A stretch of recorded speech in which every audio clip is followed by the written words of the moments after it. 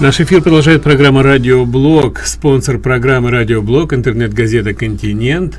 Адрес а, в интернете тройное w continentusa.com и печатное издание «Обзор». Именно в них вы найдете статьи и комментарии лучших авторов со всех континентов, анализ событий в стране и за рубежом, развлекательные материалы «Континенты. Обзор» – идеальная площадка для газетной и интернет-рекламы.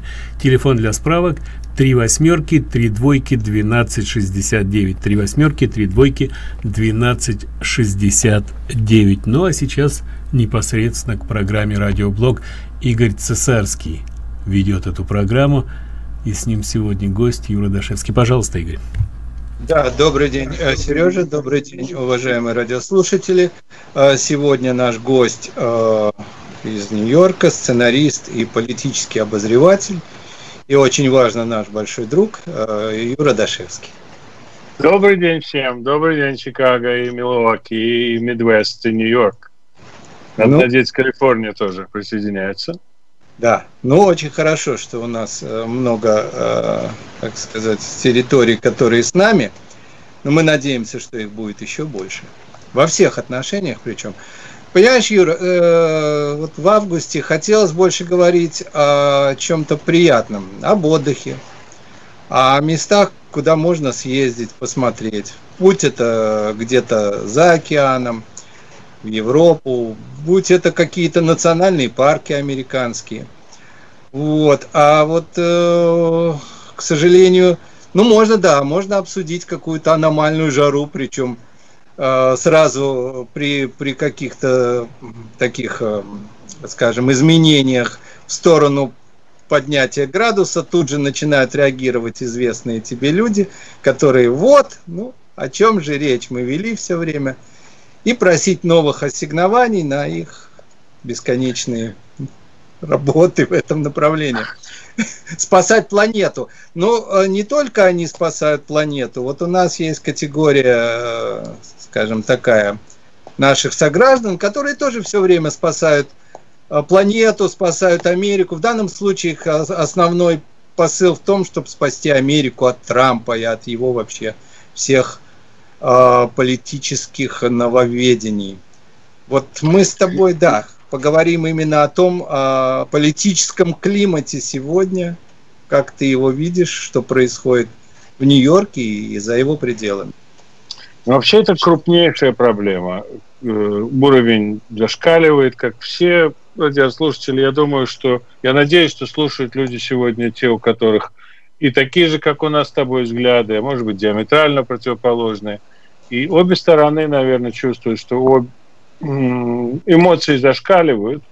Естественно, мы, как люди консервативные с тобой, мы, э, нам хочется, чтобы наша сторона была более правая, и мы считаем, что та сторона не права. Но как недавно я заметил, что как бы от нас все требуют, чтобы мы отказались от Трампа. Вот скажите, что Трамп плохой, и будем продолжать разговор. Вот потеряйте как бы эту величину в своих аргументах, и будет все замечательно. Но приходит мысль, а от чего откажетесь вы? Окей, я отказался от одной фигуры – а какой фигурой пожертвуете вы? И нет такой фигуры. Нет фигуры. Что вы, кто-нибудь требует, чтобы отказались от Хиллари Клинтон? Она сама себя вывела за скобки. Эл Гор, Билл Клинтон, эти новые наши нью-йоркские, э, Александрия Окасио-Кортес, это люди, которые выходят, демонстрируют полное незнание вообще реалий, несмотря на свои дипломы от Бостонского университета в э, колледже в экономике, ничего не знают, не, не знают ни о каких актуальных элементах, кроме того, что надо социализм, давай социализм, даешь социализм. Никто не стесняется этого социализма. И, в общем, все требуют клятв, все требуют каких-то присяг, и все требуют готовы приносить присяги, но есть аргументация, есть понятие о том, наш воловой национальный продукт, наш уровень безработицы, есть то, что называется hard numbers.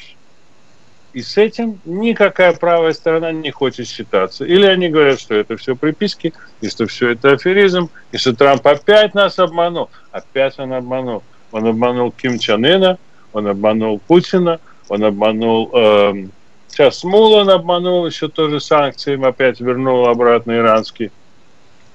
Э, Европу облапошил. Не пора ли поставить деньги на того, кто выигрывает, господа, и того, кто за вас. Вот как бы такой вводный момент. А что касается отдыха, я пошел поплавать сегодня на Брайтоне, и приплыла акула. Акула, я снял видео, я поставил на Фейсбуке, посмотрите, под хорошие 80, 80 сантиметров акула. Опа-на. Народ не мог не нарадоваться на нее, и ходил, и трогал, и кидал ее обратно в воду и она э, приплывала обратно. А ее, а ее сородичи более крупные никак не возник? Я, честно говоря, надеялся, что некоторых людей она заманит туда, в глубину, это маленькое, где уже будут да. поджидать большие. Вот, вот Но... это ты э, такой же кровожадный, как и, и президент наш, понимаешь? Да. Наш президент кушает well done well done гамбургеры, понимаешь, он не ест эти экзотические вещи. Это я там охочусь за осьминогами и, ну, да, да, и да. прочими гадами, как говорят, морскими, как говорят некоторые мои друзья.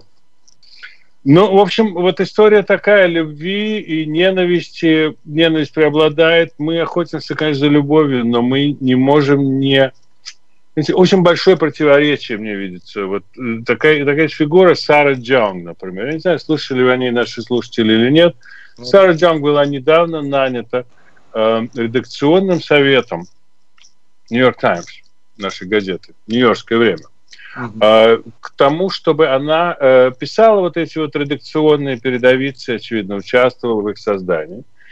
И выяснилось, что эта девушка, которую в три года, в три года в 40-летнем возрасте привезли в э, Соединенные Штаты из Южной Кореи ее родители, оказалось, что ее 80 70, 90 процентов того, что она писала, это посвящено ее ненависти к э, немолодым, не скажу старым, но немолодым и далее э, белым э, мужчинам.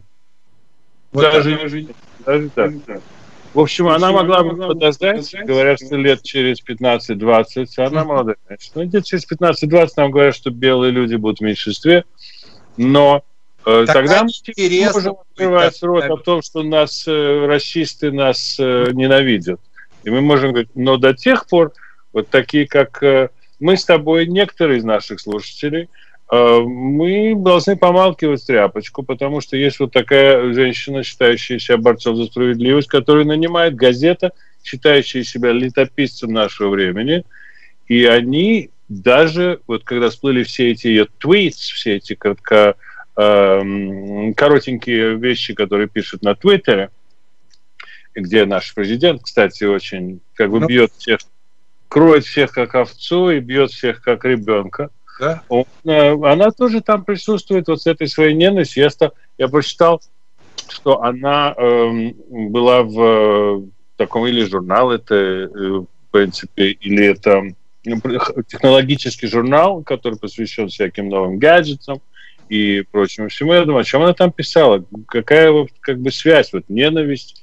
Ну, оказывается, что все очень объясняется просто. Она просто выпускница Гарварда. О чем бы она ни писала – она будет писать о том, что Карфаген должен быть разрушен. Да. Ну, и... скажи, пожалуйста, когда ее нанимали, то есть это э, либо это оставалось за скобками, либо просто это наоборот в заслугу взяли, наверное. Вот ее позицию. Сдается продукт, понимаешь? Вот надо создать э, такую вещь, за которую можно брать деньги. В данном случае продавать э, газету. Угу. Э, Daily News нью-йоркской газеты, которая была продана за 1 доллар неделю назад. 1 доллар за газету. Они, правда, взяли на себя долги, которые очень существенные. Эта организация, они занимаются реструктурированием. Осталось 40 человек работать в газете, которая продавала 5 миллионов копий в день. Угу. Раньше. Ну, Сейчас понятно. Они могут до 2 тысяч добра.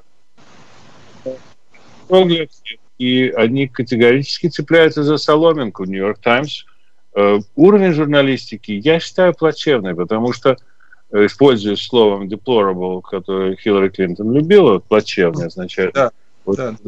Э, это плачевный, когда-то Нью-Йоркер журнал, например, он был просто вы хотите увидеть английский текст без запечаток, вот, вот это, Нью-Йоркер, там все так сделано, просто комар носа не подточит.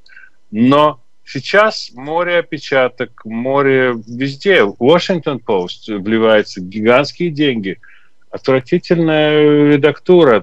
Никто не проверяет там повторы двух слов. Я как бы не могу сказать, что я суперспециалист, но это бросается в глаза, я просто могу... Кто это оспаривает, как бы может... Э, это главное, Юра, это становится не главным. Смотри, для журналистики факт стал не главным стало главным отношение к той или иной теме. Значит, э, профессионализм, определенная грамотность стали, как ты сейчас заметил, тоже не главным. Как, как говорится, это знаменитая Who cares, что там, что там и как, главное, что там изложено и с какой эмоцией. Ярость масс, ярость масс становится как бы продуктом, который, к сожалению, продаваем. То есть Э, на левом фланге, я считаю, люди просто отказываются осознанно от такого предмета, который, ради которого создана была первая поправка нашей Конституции, которую они ненавидят. Но за первую поправку они цепляются, так же, как они отталкивают вторую. Они говорят, что вот, свобода слова я имею в любой момент сказать, что э, что, что ты дурак или что я дурак. Какой-то был даже знаменитый афоризм на эту тему, да? Ну, однако, да, для тебя они это право оставляют, но однако за любое неосторожное высказывание известным образом, касающееся там, не дай бог, какой-то расового момента и так далее, человека просто закатывает в асфальт, ну, фигурально выражаясь. Э, Лыка в строку э, наш президент Дональд Джон Трамп. Эм, Пару дней назад он выступал, по в Ohio, и он сказал, что Леброн Джеймс, дамы, болван по-русски говоря, он сказал, что Дан Лемон, э, ведущий CNN, угу. болван, дамы, он сказал про Максин Уорриш, что она болван. Да? Говорят, ага, значит, Шерлок Холмс нас учит, что все они трое смуглые люди. Да. African Americans. Значит, наш президент еще раз доказал, то есть как что? бы до сих пор он никак не мог доказать, но тут он наконец доказал, что он таки расист, что он таки вот всех черных людей стрижет под одну гребенку. Да, но он написал I like Mike после этого. Да, он написал Mike, да. На что Майк сказал, что ну, типа да. я, ну, то есть подал голос, сказал, что он там не, не вполне уснул за рулем. Да. На что Мелания сказала, что Леброн Джеймс, он такой замечательный человек, он открыл школу. То есть я думаю, что школа Трампа, ну, мы все знаем, да, что наши жены, они э, как бы в значительной степени, если мы какое-то время вместе, мы как-то друг от друга берем лучше, естественно, угу. мы так считаем. И, и они, она это так по-трампийски это сделала, то есть дверь осталась открытой, потому что Трамп ни в коем случае, как, о чем вы говорите, ребята, столько женщин, сколько людей, черных, желтых, зеленых, красных, сколько он не нанял, не нанял ни один девелопер в Нью-Йорке, его шоу было. Вот правда, я как бы не хочу, это будет выглядеть как обобщение, но вот эта женщина, которая, так сложно ее зовут, Амороза Манигот, да, так, Манигот это итальянское, Маникотти, сицилианское произношение, Мариголд, ну, надо уточнить, но Амороза. Ага. Она была она на шоу как Apprentice, э, его шоу Apprentice, она там участвовала, она была его как бы вот э, такой, она очень живо его воспринимали все, она всем нравилась, она агрессивная, потом она перестала всем нравиться, она коварная, она змея, и, в общем, это все шло в рамках вот шоу The Apprentice, которое Дональд Трамп, по-моему, то ли 17, то ли 19 лет, он его практиковал на телевизоре. Причем с большим успехом. То есть человек пошел в телевидение, взял всех побил, сделал грандиозное шоу по успехам. Его пригласили, он его не сам придумал, а, но его позвали туда, он стал его звездой, он стал его соавтором, он стал тем, ради чего люди смотрят you're fired. Вот эту всю историю он придумал. Да? И сейчас она как бы, как все вашингтонские, вот этот вот трясина, болото, свамп, лужа mm-hmm. и так далее – она никуда не девалась. Она как бы пришла к нему и сказала, Доня, Доня ты за меня, меня возьми меня, пожалуйста. Мне нравится, как его называют одесситы, Доня Козыр.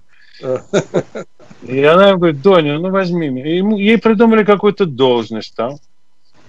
И с этой должности она слетела в очень короткие сроки, как и Манафорт, который вот сейчас. А? Его да. суть, он был очень малое количество времени с Трампом.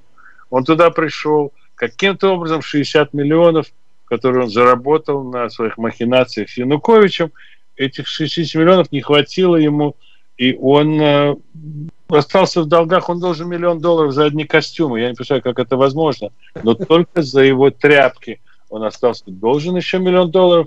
Его привели к э, Трампу, то есть он знает, где хлебно. Он знает, что если он поработал на президента, то у него будет такой шлейф, как у павлина средней величины такой хвост. Он будет его распускать и говорит, слушайте, я... Ну, да, да. Что вы говорите, он будет говорить. Я могу вас представлять, когда вот мой один звонок, один каприз, и президент будет с вами разговаривать. Ага. Что, кстати, имело место, вот э, подтверждает случай с его э, Коэном, этим позорным Майком Коэном, его адвокатом, который действительно мог там нашвыцать э, какие-то ему эти самые встречи и так далее. Или вот история, например, с этой русской тоже хотелось поговорить. Наталья Весельницкая, это тоже опять провернулось. То есть все ходит по кругу, да. ничего нового нет. Да. Мы возвращаемся к этому старому куску мыла. Но, но при этом, при этом тот самый сговор, о котором бесконечно... А, да. Ну, то есть одна тема влечет другую, чтобы закончить с Морозой, а да. Мороза э, это вот женщина, она островная, карибская какая-то дама, бывшая и угу. по происхождению. И она написала книгу, и она там пишет, я смотрел отрывки из нее, про так, ну, диагонально смотрел, я не, не хватает на, чтобы, на то, чтобы все это читать. И я уверен, что все, что там есть интересно, все будет рассказано теми, кого я слушаю, на кого я смотрю. Они говорят, что она пишет, что я была в ужасе, он же совсем безумный человек, он же вообще потерял, я вот его помню, и я стала смотреть на то его выступление, это просто выступление. То есть дело шьется такое, что Трамп, он ку-ку. А, окей. Ну, У это... него не совсем в голове нормально. Но, извините, вот такой замечательный, он танцевал Обама у нас, он пел у нас, да. При нем, он сказал, национальный продукт 1,1%, 1.1 GDP наш вот он будет у нас так расти, и мы медленно с вами красиво будем выходить с мировой сцены, потому что растут у нас, и, и пора уже Мозамбику становиться мировой державой, и пора еще нам быть поболее погибче, и будем двигаться вот э, как бы в сторону ниже. И в это время приходит Трамп, и все совершенно меняется.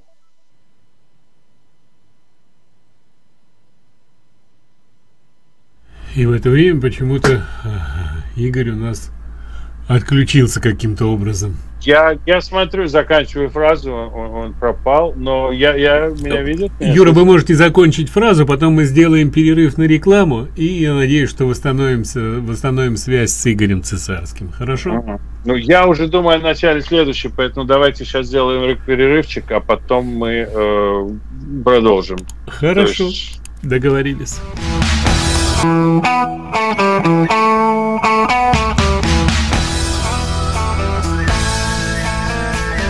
Возвращаемся в программу радиоблог. К сожалению, Игоря Цесарского с нами пока не будет. Ну, если связь восстановится. Интернет великая штука все-таки.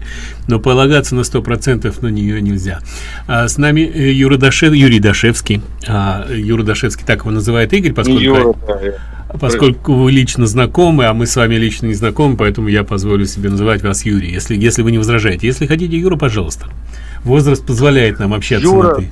Да, я, я вполне за Юру, потому что я был Юра, как-то Юрий меня не очень... Я старался избегать мест, где меня называли Юрий, поэтому, в общем, Юра для меня вполне привычный, и в Америке я вернулся к этому тоже Хотя режиму. Хотя для меня да. более, хотя для меня более привычно Юрий, ну как бы общаясь с людьми в эфире, э, привык на вы обращаться. Ну, если хотите Юра, значит будем Юра. Ну, можно для начала Юра и на вы, так что будет Да. не совсем резкий, резкий переход. Можно на ты. Но, не, я хочу сказать следующее. Я хочу сказать, что а, мы можем начать принимать звонки, правда? Да, Пускай кстати. звонят люди. Кстати, Если я хочу... интересно что-то услышать, э, э, что-то сказать, э, мы попробуем им ответить. Если у них есть какая-то интересная точка зрения, мы попробуем ее обсудить, озвучить. И я со своей стороны хочу сказать, что интересный момент, вот говоря о том, что э, одна из тем, которых я коснулся, это женщина Сара Джонг, которую э, позвали работать в Нью-Йорк Таймс, э, и выяснилось, что у нее просто горы не растраченной ненависти, но ему еще не меньше и растраченной тоже. То есть она пишет, где она только может о своей ненависти к белым людям, но в то же время такие ведущие организации, от которых, не побоюсь этого слова, зависит наша жизнь, э, сегодня это не YouTube, это Facebook, это что у нас еще там третье? Твиттер, А, Apple присоединился А, к Apple, этому да. тоже. Они объявили о борьбе с ненавистью. Понимаете, на одной, на одной стороне чаши весов есть Нью-Йорк Таймс, который нанимает человека для того, чтобы просто монетизировать ненависть в эфире. А с другой стороны, есть эти организации, которые Apple присоединился, они выбросили, есть такой персонаж, если кто-то следит, Алекс Джонс. У него э, есть эм, его новостная как бы такая вот организация, частный бизнес, ничего этом нет запретного, называется Infowars, где освещают вопросы э, американской жизни с э, правого как бы угла ринга, можно так сказать. В общем, у него где-то он смешноватый, где-то он агрессивный, где-то его заносит, э, ну, кого не заносит, да, в общем, мы и к Джону Стюарту относились достаточно э, хорошо, и мы понимали, где юмор, где преувеличение, и мы понимаем, что поскольку мы люди, мы не безгрешны, и мы можем где-то ошибиться. Но Алекс Джонс снискал себе славу человека, который очень и очень резкий. Э, Если вы смотрели «Хоумленд», последний сезон сериала, вот его главный как бы персонаж, он списан, э, этот вот э, радиоведущий, за которым идет охота, и который мутит воду, и пускает пыль в глаза, и всякие там проблемы создает в нашей стране. Это было списано с Алекса Джонса. И Алекса Джонса решили закрыть. Из его шести подкастов, шести записанных передач, закрыли пять. Apple сказал, что он не соответствует тому, что называется Community Standards, правила пользования, инструкции по употреблению iTunes, замечательного Apple продукта. Вот Алекс Джонс их нарушает, его мы закрываем. Но там не было порнографии, конечно. Там не было призывов к насилию, там не было призывов к расовым беспорядкам. Что, в общем, мы услышим достаточно часто. Black Lives Matter организация, э, этим была известна. Наш бывший президент Обама, слава богу, э, президент Обама, бывший, с удовольствием скажу, Обама, бывший президент, еще раз, он говорил, get in your face, идите и прямо лицом к лицу с ними ругайтесь, с теми, кто с вами не согласен, с этими правыми, с этими республиканцами. И эм, все, в общем, стимулировали это насилие. Это, это призывы были со стороны э, э, Максин Уоррес, э, конгрессменши из Калифорнии, э, к тому, чтобы э, идти и биться рука как это называется, ману а ману, в ручной рукопашный бой идти за свои убеждения. Хорошо, замечательно. Но как же так получается, уважаемые левые господа, что у вас, с одной стороны, вы контролируете содержание электронным образом, цензурируете то, что вы называете ненавистью, совершенно по своему собственному уразумению. Это не научное определение, просто вам не нравится, вы закрываете. А с другой стороны, вы нанимаете людей, которые ту же самую ненависть превратят вам в cold hard cash, как говорят наши гостеприимные э, сограждане американцы, да? То есть превратят в деньги, в доллары, превратят вот эту ненависть, которую вы вбиваете в головы наших детей и наших, даже не детей, даже взрослых людей. Но я, я честно вам скажу, я У меня, наверное, есть тем 50, на которых я могу ну, говорить. Нам вот. подключился Игорь так. Цесарский. Наверное, наверное, он сейчас вам задаст вопросы какие-то. Да, да я его вижу. Что тут видишь, враги не враг не дремлет или враги не дремлют. То есть э, Skype взял и вдруг отказался работать, пришлось вызывать. Да, Skype, да. Вот, но неважно. А ты Черный знаешь, вертолет как... пришлось вызывать. Да, да, да, да, да, вот так и было. А, что бы я хотел тебя спросить а, относительно роли социальных сетей в этом во всем процессе, которые э, определенным образом играют сейчас тоже немалую роль в формировании... Гигантскую роль, они сбивают всю пену, и, вот. и мы в этом участвуем тоже. Ты по этой теме немножко э, рассказать, вот твои ощущения о том, что происходит с Фейсбуком, что происходит с другими э, игроками, которые каким-то очень странным образом вроде бы э, всегда клянят, что они беспристрастные и так далее, вот играют, воду льют на мельницу тех самых левых, ну, они, собственно, и есть мельница. Они, все организации, вот капиталистические организации, все смотрят, все бизнесы смотрят, как инвестировать э, деньги. Потому что все работали на прибыль, прибыль пошла. Что делаем дальше? Следующий шаг. Что, что будет потом? Из-за этого очень много хорошего в нашей жизни происходит. Все время новые вещи придумываются. И Apple испытывал проблемы, например, потому что они не знали, что будет после айфона уже лэптоп, я думаю, который они выпустят не скоро, это будет последний лэптоп. Уже это ушло. Даже таблет себя достаточно быстро изжили, хотя наши дети не дадут этому всему умереть. Маленькие детки в колясках будут играться с таблет, играть. А, стараюсь говорить грамотно по-русски. Я надеюсь, все это ценят, потому что надо говорить, если по-русски, то уже грамотно в конце. Да, ну давайте попробуем, Игорь, давайте попробуем принять звонок.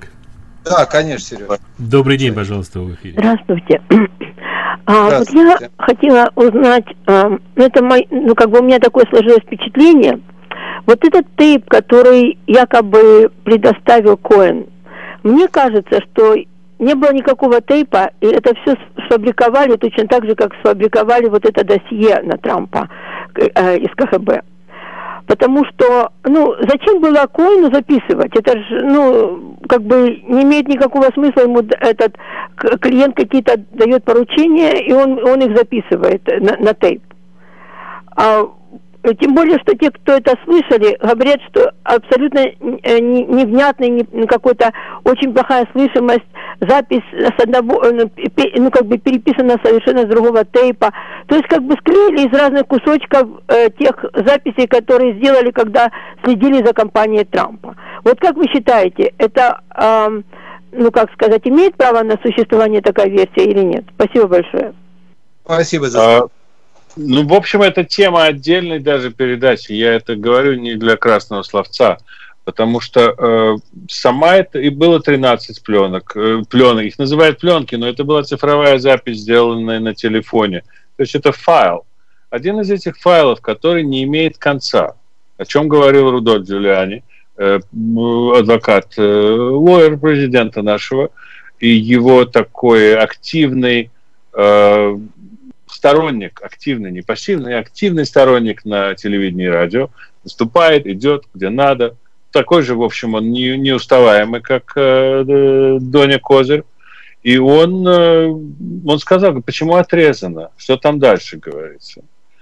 И э, еще же э, дело в том, как идет разговор. Это можно послушать, это все можно на интернете найти и анализировать, просто притворяться, как будто мы какие-то там сотрудники ФБР и пытаемся там разгадать суть. Но что бросается в глаза, что, ну, естественно, трудно нанять потом человека такого. Говоришь, я адвокат, а как твоя фамилия? Майкл Коэн. А зачем ты записывал своего клиента? Ты нас тоже будешь записывать? Да, это типа сразу он идет э, в профнепригодный раздел, да? Это, это никто не хочет, потому что э, вся история с адвокатом это вокруг конфиденциальности. И ему зачтется, может быть, в каких-то кругах, что он пошел против Трампа, может быть, он книжку напишет какую-то, но э, по специальности он уже работать, очевидно, не будет и не рассчитывает. Но в то же время он ему задает определенные вопросы. И Трамп ему отвечает. И там произносится слово «кэш».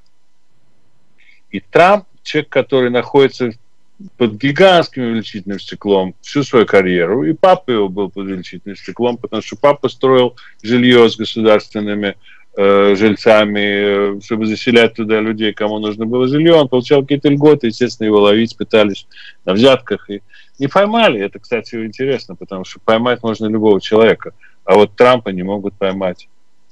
Не могут поймать, не знаю почему. Но он... Эм, он, он задавал целево вопросы, чтобы слово кэш фигурировало. Но для Трампа, человека, который... Для него кэш – это то, что мы называем вот sum, да, извините за э, английский. То есть это одной, как бы одним разом заплатить эти деньги, дать чек, на котором будет написано, окей, кэш, там, где кому платить, и сумма будет там 138 тысяч, сколько они заплатили этой э, женщине стриптизерке заплатил э, Майкл Коэн. Э, какие там были все эти опять же, тоже ничего не могут, как бы, история не, не сшивается никакая, нет никакого сюжета в этой истории. Ну, смотри, ну, хорошо, как бы это ни было, какое это отношение имеет вообще к сговору с Россией? Вообще, э, вот эта история о чем говорит? Или, или она на каком-то уровне, вот ты можешь ее сопоставить с той знаменитой историей с Маникой Левинской, которая э, неоднократно заходила в, то, в тот самый овальный кабинет. Это да. что, одного ряда вещи? Ну, акта нет в случае с Трампом. Нет акта, нет момента, когда он совершил что-то вот конкретно такое, что даже бы то, что сделал Билл Клинтон у себя в кабинете, там с сигарой, и так далее. Э, этого, этого нет во всем досье э, Трампа. Но вот сейчас сцепились опять все по кругу, все по кругу, опять сейчас сцепились. То, что он знал, что э, это российская женщина Наталья Весельницкая, которая, ну, она такая, в общем, опять же, второй раз употреблю это слово, адвокат швейцарка, которая бегает, она знает этих людей, она знает тех людей, она может в этот кабинет зайти, в тот кабинет зайти.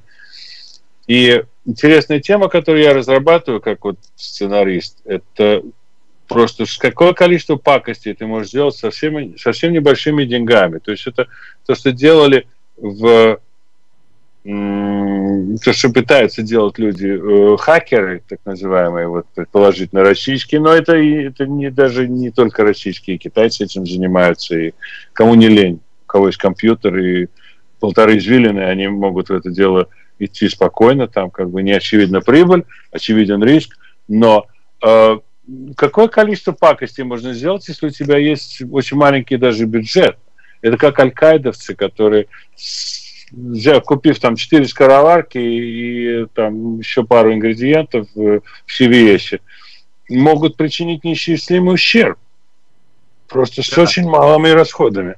Полностью да. асимметричная борьба с э, противником. Юр, у нас звонки есть, может мы попробуем Мы принять? готовы, мы всегда да, готовы. Да, добрый день, пожалуйста. Вас.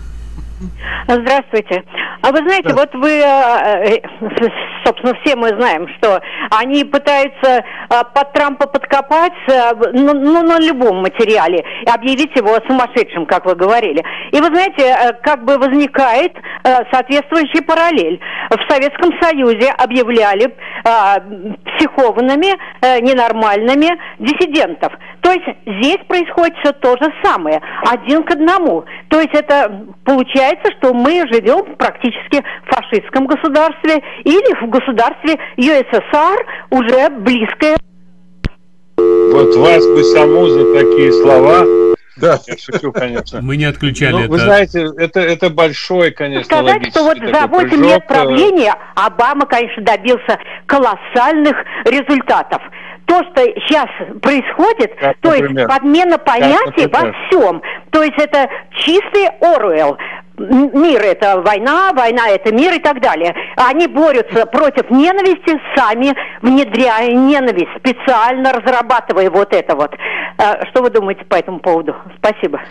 Ну, нет другого. Я только об этом, по-моему, говорил. Э, нет другого способа, понимаете. Вот Орвел гениально все. И, кстати, другие его вещи тоже можно почитать. Это замечательный, совершенно мудрый писатель, э, который прошел определенную линию в своем творчестве, э, сменил взгляды, переоценил многие вещи. И это, это одна, один из крупнейших писателей 20 века, я считаю. Но достижения Обамы, они же такие, как вы понимаете, во-первых, их уже нет практически. Все, о чем кричали, все, что объявлялось его наследием, его легаси, отложили строительство музея на год еще разок, на всякий случай. Э, но э, все разрушено. Наша радиослушательница с сарказмом говорила, дело не в том, что это какая-то реальность от достижений. Но я уже в эфире приводил пример. Некоторые э, особо одаренные наши, а, в том числе и слушатели, очень любопытный тезис выдвигали о том, что вообще-то Трамп и все его достижения, ну, которые вот связаны с безработицей, а, с, с прочими позитивными вещами, они непосредственно выходят из политики Обамы, потому что тот подготовил ему такую замечательную почву. Ты об этом слышал? Ну, об этом можно только говорить с цифрами в руках. Я последний раз, когда при, при, вникал в эту тему с цифрами, я не экономист. Я как бы прочитал, у меня это отложилось, у меня сформировалось мнение, и пошел, начался следующий раунд. Но я сильно сомневаюсь, если вы даже... Я люблю слово, я не, не так люблю цифру, как слово, хотя когда мне не хватает слов, я беру за цифры. Но на уровне слов, даже если вспомните речь Обамы, который боролся с исключительностью Америки, который говорил людям, которые он приходил выступать в Индиану на завод кондиционеров, и человек к нему подошел, и сказал, ну, встал там человек какой-то, тоже а, афроамериканец, э, и сказал, ну как же так, вот мы здесь, а они там, и уедет вот в Мексику наш э, завод, а как мы будем?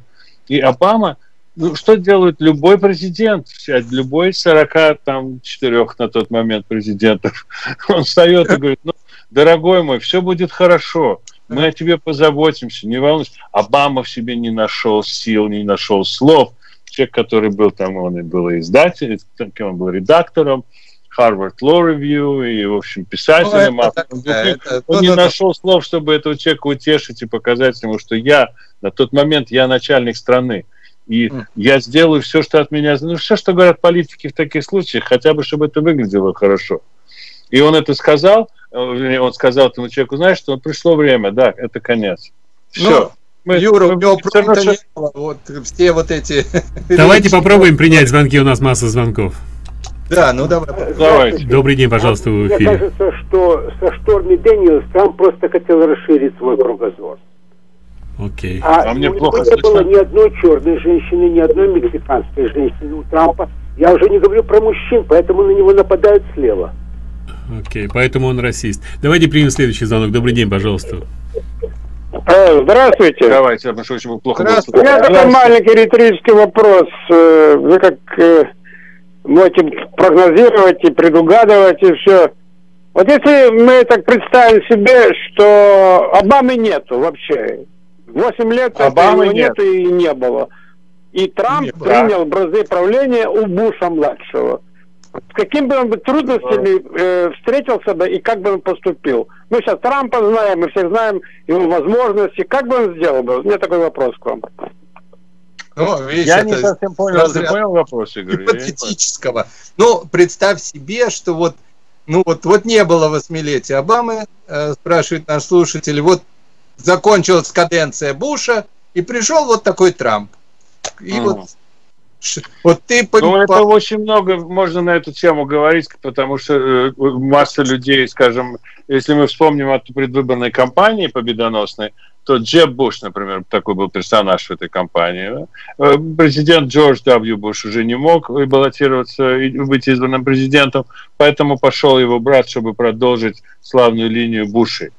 И он не, не, не low energy, jab, low energy, как сказал про него Трамп, он его припечатал, у него своя стратегия, у него своя тактика. У Буша младшего, который Буш W, у него была тактика ни на что не обращать внимания и работать на победу. Вот по своей тактике, которая оказалась совершенно провальной, он оказался пленником. Я очень его уважал. И он для меня остался во многом трагической фигурой, такого принца, который пришел типа на все готовое, который имел опыт, безусловно, больше, чем Обама, но его опыт не был, э, его путь к президентству не был знаете, когда вы смотрите на биографию, таких уже сейчас, наверное, нет людей, но в книжках, естественно, все приукрашено, ты читаешь биографию и думаешь, вот этот человек, он всю жизнь шел к этой э, цели. Вот выясняется, когда ты смотришь, вот он стал президентом, и ты понимаешь, что его путь был совершенно прямой, и никакие терни его не могли от звезд оградить. Э, Буш не был, как бы он был Буш, ну окей, Буш, давай, ты следующий. Буш? Буш. Ну да. Ну, ну вообще, а вообще как ты к династиям относишься? Политически? Ну, к этим отношусь династиям, потому что эти династии, я к, к монархии лучше отношусь, чем к ну, династии. Монархия это понятная вещь. Монархия это самое лучшее средство управления, честно говоря, если монарх хороший. А таких было, может быть, столько, а может быть, столько.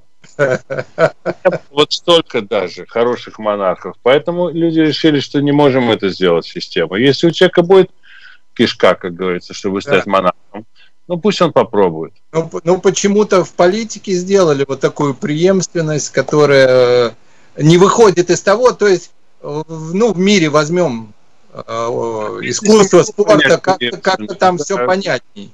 Если... Я осторожен с этим, но, но в бизнесе как бы для меня это приемлемо, потому что все человек видит, папа ну, забивает, в левой да. руке держит гвоздь, правый молоток, попробую я.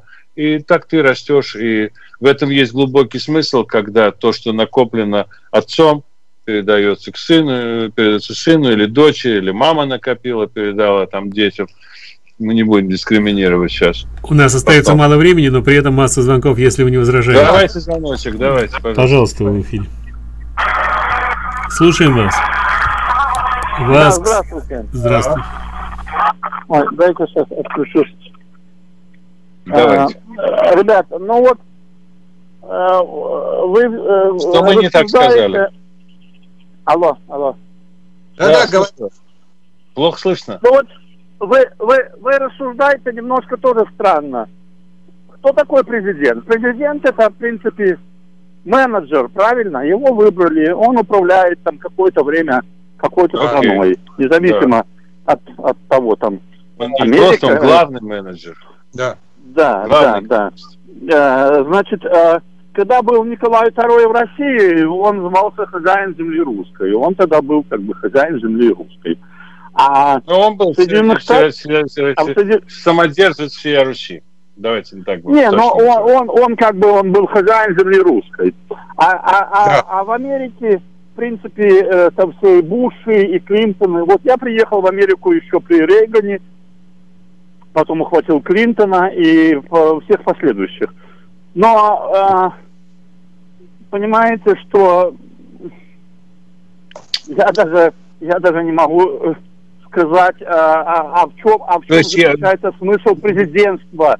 Смысл-то президентства заключается в том, чтобы страну двигать э, в том направлении, чтобы людям, в принципе, жилось э, более комфортно, или я не знаю как, или более как не, ну не, как, не скажу, более комфортно, чем мы сами а себе а сделаем, нам никто не сделает. Вы, вы, я понимаю, вы идете от очень хороших э, побуждений, и я с большим уважением отношусь к тому, что вы так давно живете здесь, и вы помните, кто был президентом, когда вы приехали здесь. Рейган был замечательный президент, который Америку ставил на первое место. И нам хочется, и я уверен, что всем э, не таким людям даже, как мы, а мексиканцам, они не хотят, они сюда не ехали, чтобы это было как э, в Мексике здесь жизнь была. Узбеки не ехали для того, чтобы она была как в Узбекистане.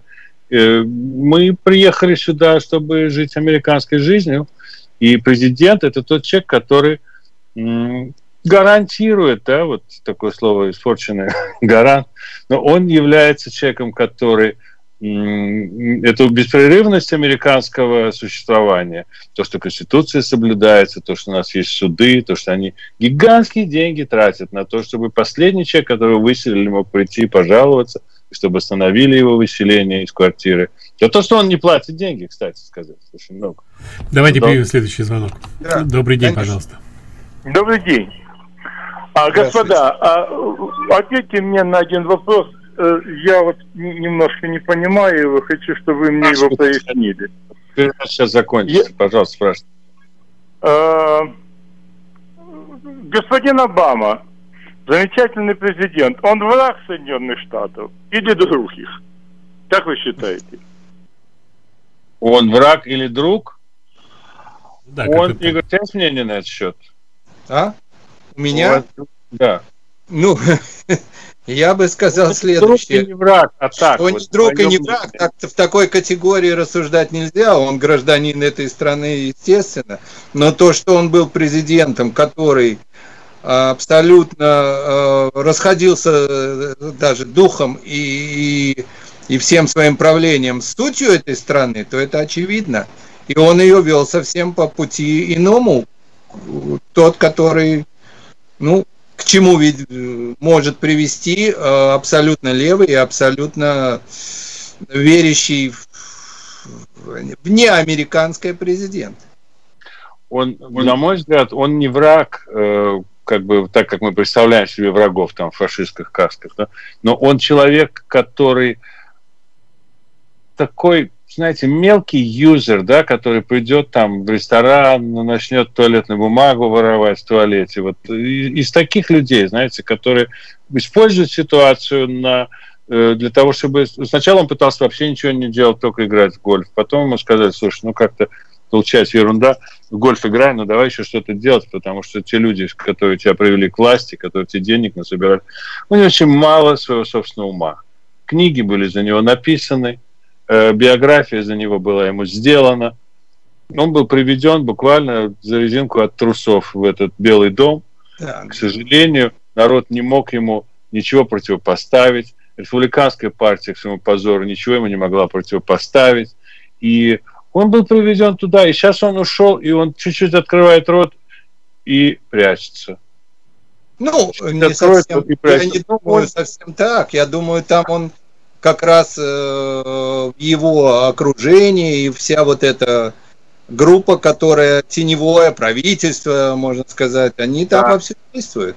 Я, я по-прежнему думаю, что он не самая мощная фигура в, этой, в этом всем контексте, потому что он все-таки такие люди, как, которые Э, разруливают эту социалистическую, коммунистическую линию. Берни Сандерс, он не на одной стороне баррикад с Берни Сандерсом, он, он где Хиллари Клинтон. То есть это люди, которые, вот возьми последняя их э, сделка их с Netflix, чего Netflix пошел вниз, его сток пошел вниз, потому что они заключили договор с Обамами, чтобы те вдруг оказались продюсерами их передачи.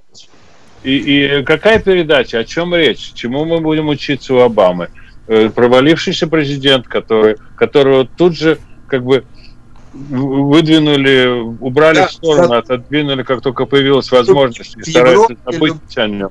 Любимец многих, многих стран третьего мира и так далее. Ну, собственно говоря, возможно, в стране третьего мира он бы был и хорош, по-твоему. Ну, третий мир есть третий мир, он поэтому третий. Там да. и Трампа сейчас любят больше, потому что сейчас китайцы в восторге от э, а, Иванки Трамп, они ее обожают, и я думаю, что они у нее да. перепутают ее линию у нас... э, одежды, и все будет хорошо. Да, ну, спасибо, э, спасибо да. большое. А, наверное, встретимся уже в следующий раз. Спасибо наверное. большое. Здорово, я был рад. Всем привет большой. Спасибо. Счастливо и привет. Победа, победа, господа.